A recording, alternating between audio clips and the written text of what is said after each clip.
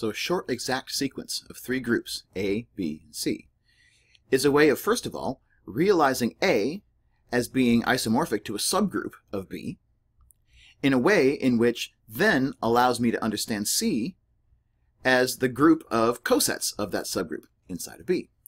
So it's a bit like taking this first row of this arrangement of elements in B and, and implanting it into that table as the first row, and then projecting all these elements onto C, and the requirement in a short exact sequence that the image of this inclusion and the kernel of this projection are equal just means that everything which gets sent to the identity in my group C must have been something which came from A as a part of my subgroup of B.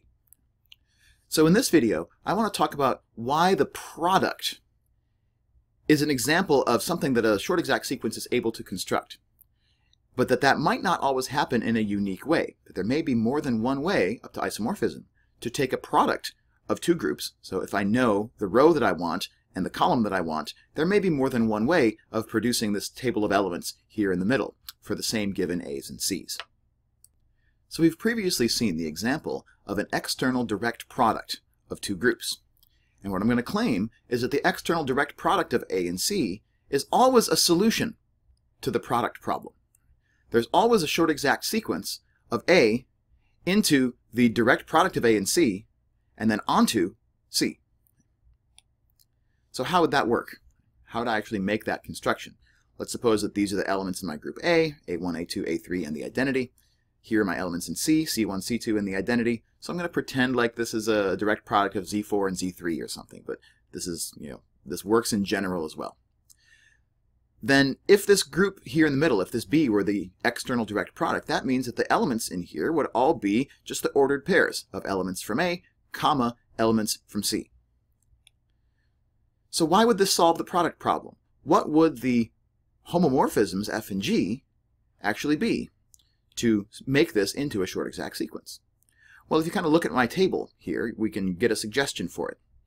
Notice that each of the elements from A is getting sent into this table in a way that that element is the first entry in each of the ordered pairs. So A1 is getting sent into these elements here, which all have A1 in their first component. A2 gets sent to these elements, which have A2 in their first component, and so forth.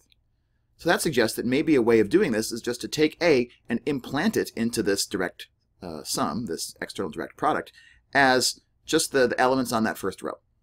The, the first component gives, just gives me the, that element of A. So A gets sent to A comma, the identity of C. So that's I'm sending this directly into the first row. And then the algebra of the external direct product will make sure that this same A is then also the A on the second row and the A on the third row when I add C1, C2 to them. That's how a external direct product works because those factors in the first and the second components of the ordered pair don't interact with one another.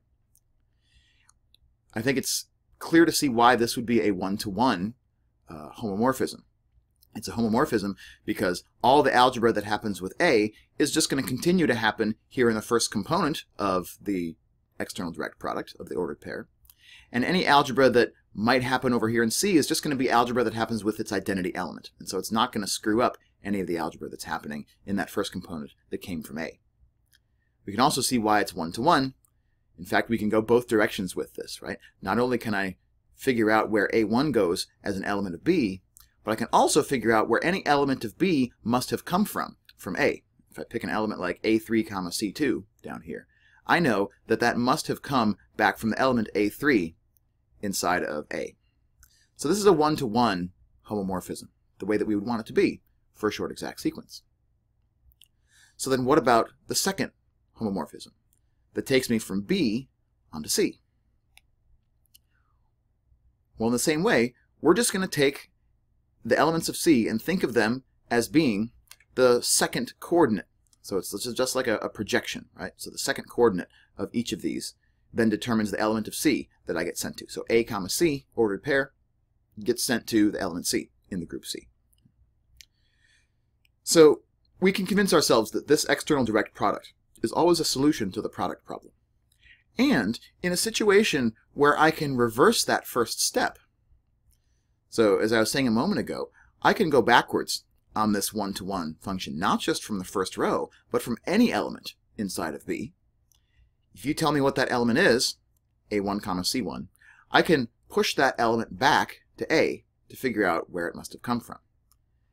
And any time when that's the case, whenever this one-to-one -one homomorphism is also reversible, and by reversible what I mean is that there exists a homomorphism H which goes from all of B back to A, such that H composed with G, so G followed by H, gives me the identity on A. When there's that reversibility, as there is in this example, so it's just the projection uh, onto the first coordinate would be an example of a homomorphism H that accomplishes that. Then it turns out that this solution is always isomorphic to the direct sum of A with C. So the external direct product of A and C always solves the product problem. But in a situation where this first homomorphism G is not reversible, then there may be other solutions. And so in our next video, what I want to do is explore the other solutions. So under what circumstances uh, can we have a short exact sequence where we know A and we know C, but the product, the group B that, that fills in this middle portion, is not isomorphic to the external direct product of A with C. In the next video, we want to look at the ways in which Z mod 3 and Z mod 2, two very simple cyclic groups that we understand very well, can actually be made into a product in two non-isomorphic ways.